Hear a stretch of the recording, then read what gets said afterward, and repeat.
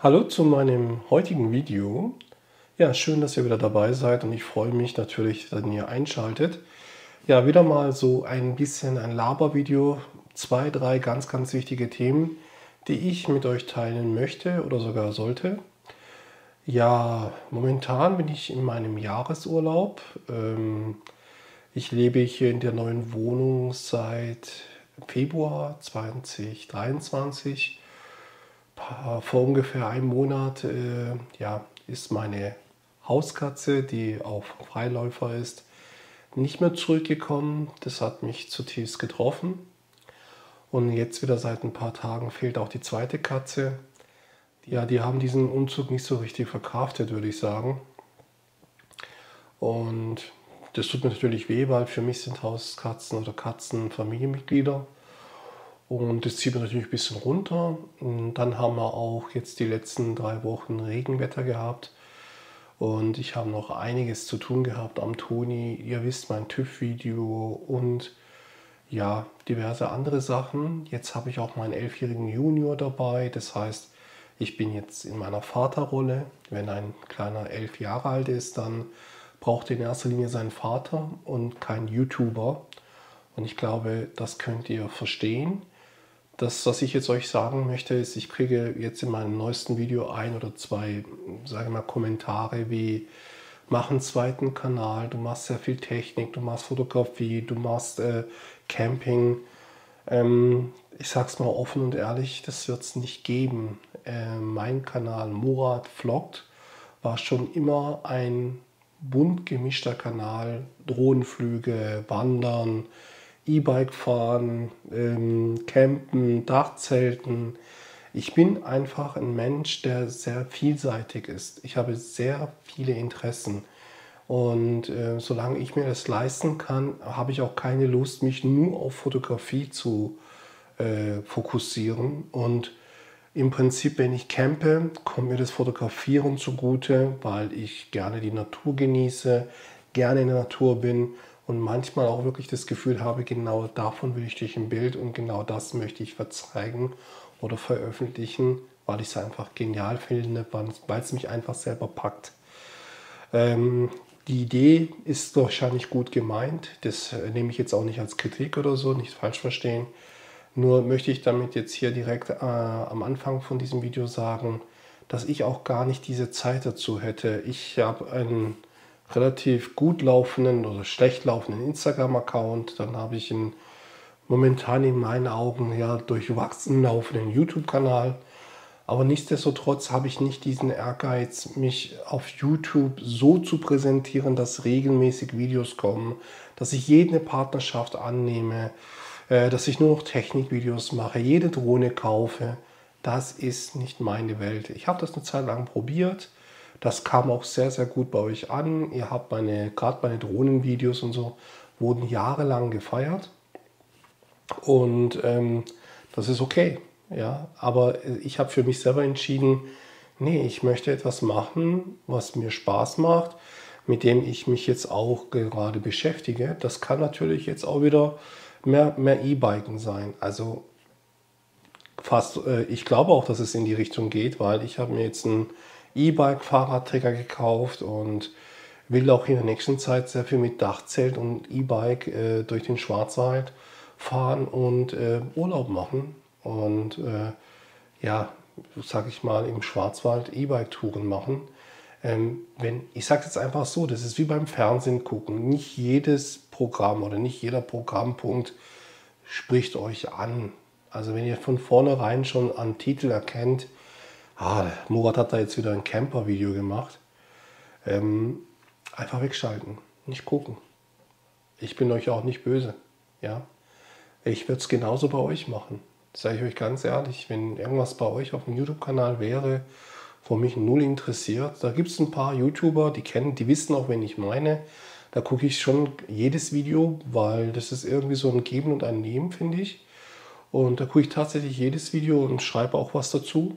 Aber dann gibt es auch YouTuber, ich weiß auch, dass die meine Videos nicht regelmäßig gucken.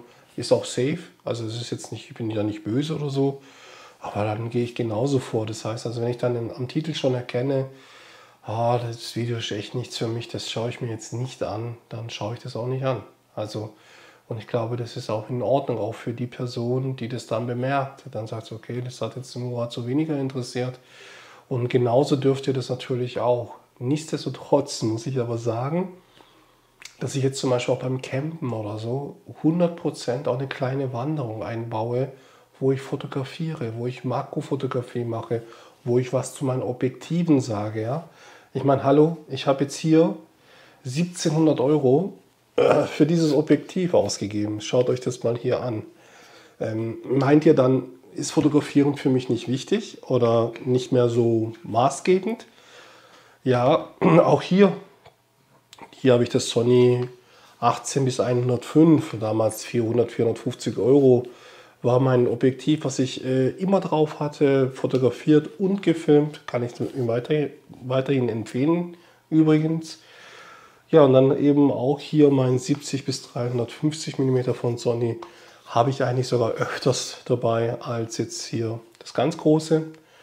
Ähm, ja, also was ich euch damit sagen möchte, ich möchte jetzt nicht einfach in die Kamera meine ganzen Objektive reinhalten. Ich habe da noch eine ganze Menge. Jemand, der so viel Geld für Fotografie ausgegeben hat, der wird auch weiterhin fotografieren. Momentan steht natürlich das Campen im Mittelpunkt und da hat jetzt auch einer geschrieben, Arto 1969 schreibt, dass so ein Wohnmobil ja ein Fass ohne Boden ist und ich äh, höchstwahrscheinlich sowieso nicht als, als auf Vollformat-Kameras äh, wechseln werde. Also das Thema Vollformat ist bei mir durch.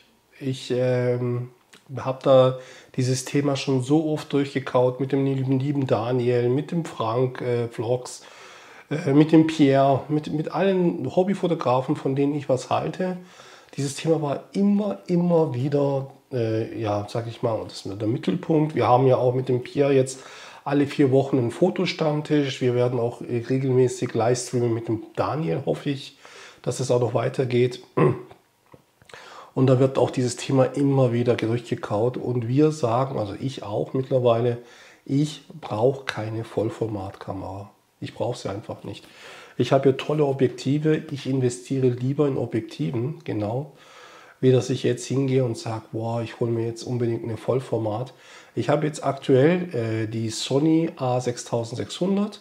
Aufnehmen tut die 6500 hier mit dem externen Display, wo ich ein bisschen sehe, was, was zu sehen ist, weil beim A6500 hat man so kein Klappdisplay. Aber das stört mich nicht, weil ich habe einen externen Rekorder, da sehe ich, was eben hier vor der Linse ist. Und bei der 6600er hier, ja, da hat man ja hier so ein Klappdisplay, den kann ich hier nach oben klappen. Und äh, genau jetzt komme ich schon zum nächsten Thema, mein neues Vlogging-Equipment. Ich gehe mal ein bisschen weiter zurück, dann seht ihr es, ja. Ihr wisst, dass ich hier den Crane M3 für einen super Preis von Daniel bekommen habe. Äh, der hat den mir sozusagen fast verschenkt. Ja. Normal kostet er über 300 Euro oder um die 300 Euro der Crane M3 hier. Eben besondere Merkmale sind tatsächlich, dass er im Gegensatz zu anderen Gimbal relativ ja, klein ist, aber ja äh, auch trotzdem APS-C-Kameras, aber auch Vollformatkameras von Sony und sag ich mal leichte äh, ja, Objektive so äh, balancieren kann. Was ich jetzt auch noch stark finde, ist natürlich, ich weiß nicht, ob ich das jetzt hinkriege. War es die Seite? Ja, war glaube ich schon diese. Aber ich habe nicht eingeschaltet, dass hier noch ein zusätzliches Licht dabei ist. Ich kann äh, das hier per Bluetooth verbinden, kann praktisch meine Kameraaufnahme an und aus, alles hier über diesen Gimbal steuern. Ähm, und habe natürlich dementsprechend äh, super Aufnahmen. Denn dieses äh, Objektiv, was hier dran ist, das ist das Sony 11 mm 1.8, sehr lichtstark. Ähm, ich habe ein sehr schönes Bouquet und kann auch mal filmen, wo vielleicht die Lichtstärke vom Pocket nicht ausreicht oder wenn ich einfach irgendwo hingehe und ich sage, ich möchte unbedingt ja hier äh, ein besseres Licht oder besseres, bessere Qualität. Bessere Qualität in erster Linie für mich, weil ich weiß, dass ihr da draußen mehr so in den Inhalt euch äh, von einem Video äh, eben, ja, dass der Inhalt von einem Video euch mehr interessiert, wie jetzt die Bombenqualität.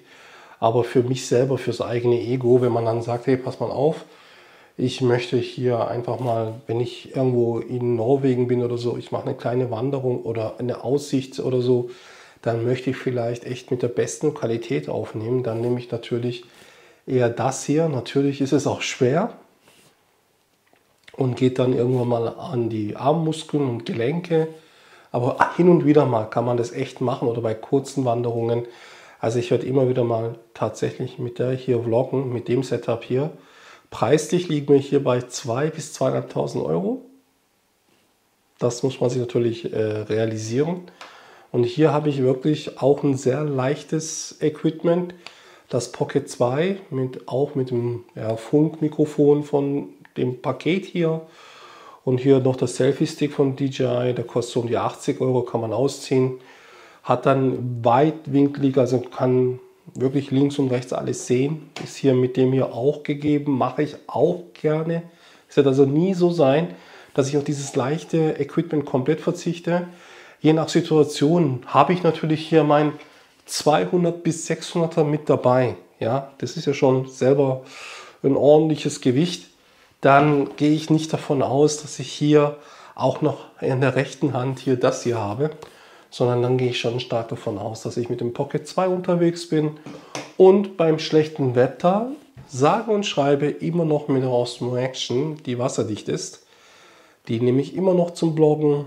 Ja, eines, eines meiner letzten Videos, wo ich tatsächlich eben den TÜV-Vorgang von meinem äh, Ducato Toni, Wohnmobil Toni euch vorgeführt habe, war alles aufgenommen mit der Action, ja, Osmo Action ist die erste Version Hätte ich im Titel geschrieben ähm, Osmo oder Action 3, ja, oder Osmo, äh, Osmo Action 3. Ich weiß nicht, ob viele von euch den Unterschied bemerkt hätten. Manche ganz sicher, weil die sind voll in der Materie drin. Aber einige von euch hätten es einfach so hingenommen und hätten es mir geglaubt, dass die Qualität hier bei Qtum nicht besonders sich ganz wenig von der Action 3 unterscheidet. So, ja, und das wollte ich euch hier euch mal vorstellen. Also wie gesagt, ich habe schon damit gevloggt, da kommen jetzt auch Videos mit diesem Equipment, aufgenommene Videos, kommen die nächsten paar Wochen. Das zum Thema auch, ich produziere immer vor. Also es ist immer so, dass ich, äh, wenn ich ein Video mache, dass es tatsächlich sein kann, dass das Wochen her sind. Ja? Auch mein Video jetzt eben, was aktuell kommt, vom Reschensee, das habe ich vor Monaten aufgenommen und die Drohnenaufnahmen bei dem Pass waren tatsächlich aktuell. Die Drohnenaufnahmen am Ende, so als äh, ja, Ausklinken von einem Video, das sind Zusammenschnitte, das hat der ein oder andere von euch gemerkt. Das nehme ich immer so als, sage ich mal, ja, ich weiß ja, dass solche Aufnahmen vielen von euch gefällt, ja. Zum Thema Drohnen, da werde ich ja auch gefragt als alter Drohnenfan oder alter Drohnenfreak, ja. Äh, Murat, äh, wie es denn aus hier? Äh, neue Drohne von DJI. Boah, ich weiß ja schon mittlerweile gar nicht mehr, äh, was gerade aktuell auf dem Markt bei DJI ist. Da kommt ja jedes Jahr was raus, jedes Jahr irgendwie wieder besser und toller und leichter und hier. Ich bin da komplett raus, Leute. Ich habe tatsächlich die DJI Mavic Mini immer noch und meine, äh, ja, die R R2S, ja, die R2S. Zwei Drohnen. Ich finde, da ist immer noch eine zu viel, weil beide auf einmal kann ich nicht fliegen. Nur ich sage mal so, es gibt ja auch mal Situationen, wo ich wandere, ja, dann nehme ich leichtes Equipment mit. Zum Beispiel, da würde ich jetzt auch eher so ein Pocket 2 mitnehmen.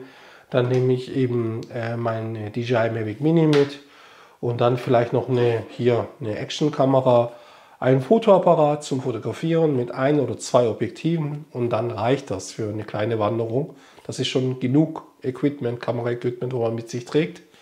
Dann braucht man ja auch noch was zum Trinken, was zum Essen. Und ruckzuck sind wir bei 8 bis 10 Kilo Rucksack äh, äh, ja, Gewicht. Und das muss nicht sein bei jeder Wanderung. Deswegen achte ich da immer ein bisschen aufs Gewicht. Ja, ähm, darum habe ich auch die Mavic Mini. Ich habe schon öfters mal überlegt, auf die Mini 2 oder Mini 3 zu wechseln, gebe ich euch zu. Aber ich habe jetzt da eine Meinung, bitte zerreißt mich nicht in der Luft. Man kann immer noch mit äh, der Mavic Mini mit 2,7K äh, tolle Aufnahmen hinbekommen. Und ich sag's mal so, vorsichtig, ohne dass ich irgendjemanden angreifen möchte, schaust du keine vernünftigen Drohnenaufnahmen mit der Mavic Mini oder mit einer älteren Drohne von DJI, sage ich jetzt mal, ob es die R2 ist oder die R oder die 2S, dann schaffst du auch keine vernünftige mit einer neueren, besseren Drohne, mit einer besseren Kamera. Kriegt ihr das nicht hin. Das ist meine persönliche Meinung. Und äh, alles, was ihr auf YouTube hochladen tut, wird eh nochmal kompromiert, ja. Und mittlerweile sage ich auch, es gibt da Leute da draußen, YouTube-Kanäle, die nehmen alles mit so einer Actionkamera hier auf, sind aber mega, mega authentisch, mega sympathisch. Und auch das, was sie machen, ist motivierend, macht Spaß zuzuschauen. Und die haben teilweise Aufnahmen nur mit einer Actionkamera und Abonnentenzahlen, ihr Kanal explodiert, die Leute feiern das. Und dann lese ich in keinem einzigen Kommentar, aber du nimmst ja nur in 2K auf. Oder du nimmst ja nur in Full HD auf. Habe ich noch nie erlebt. Noch nie.